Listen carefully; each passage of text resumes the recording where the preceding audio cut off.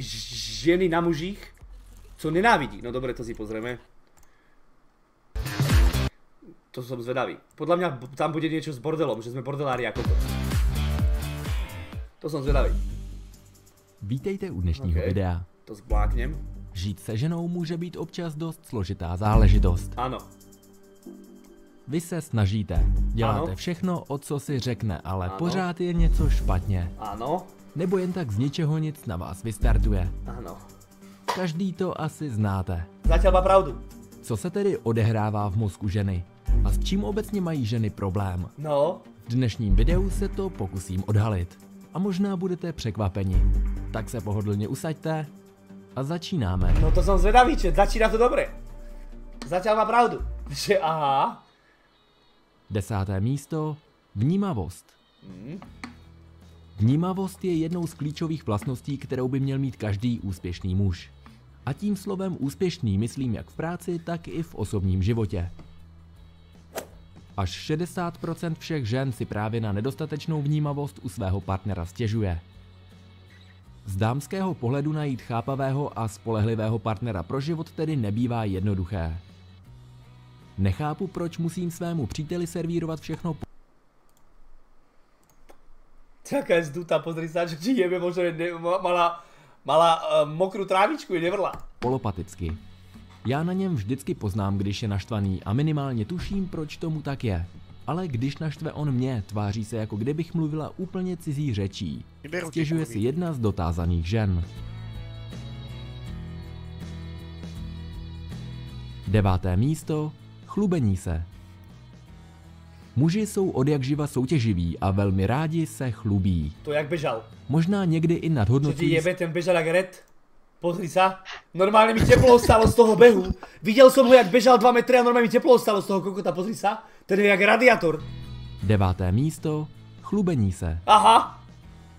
Muži jsou od jak živa soutěživí a velmi rádi se chlubí. No tak čememe! Uuu, tu sa oteplilo chlapci, statielko. Možná někdy i nadhodnocují své schopnosti ale zkrátka cítí potřebu v tomto soutěživém prostředí vyniknout. Ten si myslel, že hra Crash a Bandicoota, vieš, že má skákať prostě len. Ten mačkal na X kuličku, kocku.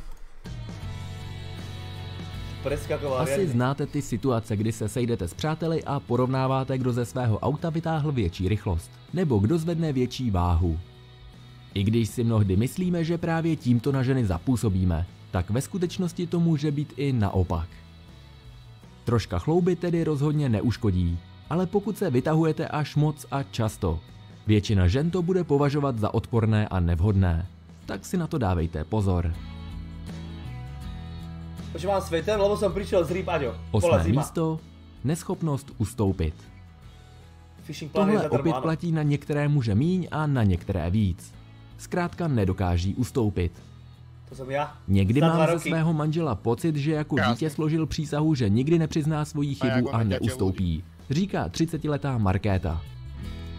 Je jako beran a i když zcela očividně nemá pravdu, není schopný couvnout o jediný milimetr. Připadá vám tohle tvrzení povědomé? Potom pravděpodobně patříte k ohrožené skupině. A vaše neschopnost ustoupit může být jedním z důvodů, proč vás vaše žena nesnáší. To není dobré, aby keď neviete ustúpiť, keď si neviete priznať chybu. Nemám rád takých ľudí tiež, že si nevedia priznať chybu. To je na piču. To, poznal som takých ľudí a takými ľuďmi sa nestretávam. Ríš, ahoj. Treba si vedieť priznať chybu, však sme ľudia, nie sme roboti. místo. Auta, motorky, fotbal. Když se v televizi jedou závody Formule 1 nebo MotoGP, jsme je zkrátka jasné, že nás nesmí absolutně nic vyrušovat. V tu chvíli se musíme stoprocentně soustředit a vlastně tak trochu jedeme ten závod také. Možná na něj máme i vsazeno.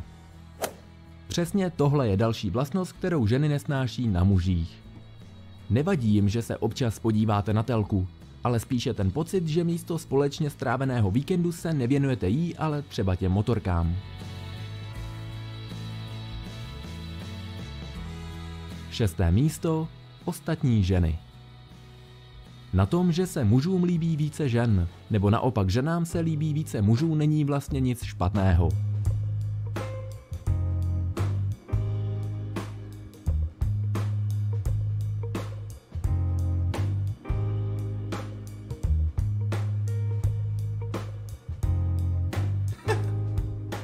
Pokud máte ve vztahu vybudovanou vzájemnou důvěru, tak skutečnost, že se občas na ulici otočíte i za jinou ženou, není nijak zásadní. Že nám prý ani tolik nevadí, že se nám líbí i jiné. Ale údajně... Že nám prý ani tolik nevadí, že se nám líbí i jiné. Za to dám dislike. Ale údajně to nemusíme dávat tak o Katě najevo. To je kok, to čo povedal. To čo zajebal. Čo to kurva, dislike má hneď. Dní. Že nám prý ani tolik nevadí, že se nám líbí i jiné. Ale údajně to nemusíme dávat tak o Katě najevo. Aha. Zlom ovšem může nastat v momentě, kdy už to není o pouhém líbení se, ale o něčem víc. Právě nevěra je jedním z nejčastějších důvodů rozpadu partnerství. A pochopitelně jsem jí musel zařadit i do tohoto seznamu. Páté místo. Sobecký sex. To čo je? Sobecký sex? Co se týče největší tragédie, která může nás pány postihnout, je to, že nás zradí náš nejdrahocenější orgán. A vlastně s tím souvisí i Srdce, myslel srdce, OK? Myslel srdce. tento bod. Ženy na mužích nesnáší, když jsou v posteli sobečtí. Zajímalo by mě, kdy chlapi konečně pochopí, že průměrná žena potřebuje k dosažení orgazmu přibližně dvojnásobek času než on, říká 24-letá Simona. Pokud tedy muž v posteli myslí jen na sebe a Aha. své uspokojení, pak si podle no. 40% žen zadělává na velké problémy.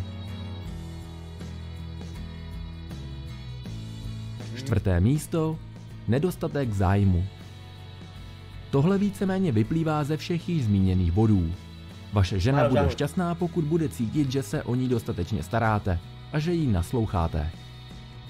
Občas jí proto překvapte dárkem nebo nějakou společně strávenou aktivitou a uvidíte, jak váš vztah rázem pokvete.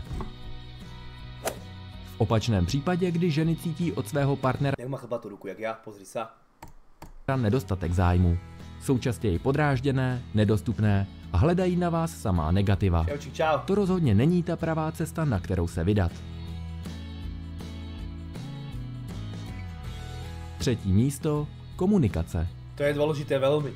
Veľmi. Asi 50% dotázaných žen Ktorý je baba, toto alebo tento Kevin bláznivý? Takto nejako si predstavím Kevina, len ešte veľké brucho z tých burgerov. Kevin. To seš ty, ty vole? Hele, píčo. uvedlo, že nesnáší nemluvné muže. Zajímavé však je, že téměř 20% naopak vadili příliš užvanění muži. Takže udělat nějaký efektivní závěr zde nebude tak jednoduché. Asi záleží na každém člověku zvlášť. A jelikož vy pánové svým ženám bedlivě nasloucháte, tak jistě víte, jak moc komunikativní byste měli být, aby byla spokojená. Když vám Kevin pičuje na TeamSpeaku, ale si mute, je, že to je nepríjemné. tedy hodinu bude vykládat, jaký měla den a pak se zeptá na ten váš. Jednoslovná odpověď rozhodně nebude to, co chtěla slyšet.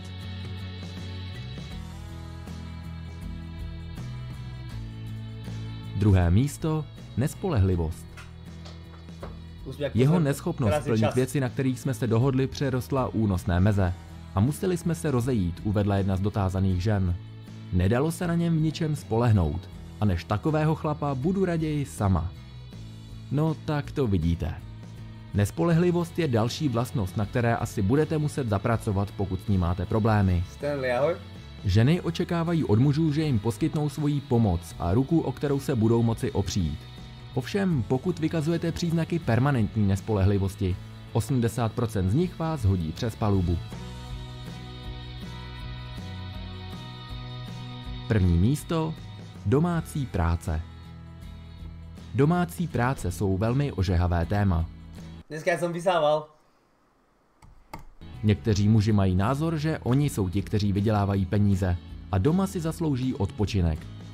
Žena, která mimochodem také chodí do práce, přijde domů a prakticky nastoupí na druhou směnu, Fakt kdy musí navařit, uklidit a obstarat manžela a děti.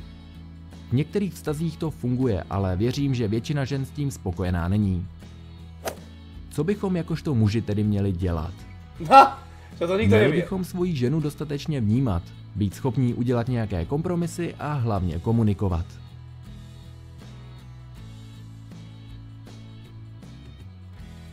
Mm, Děkujeme, že jste s námi byli až do konce. zajímavé. Veľmi zajímavé. A opak tu nie je? To nič. Opačné pohlavie, že čo muži nemajú radi na ženách, to také nemáme. Škoda.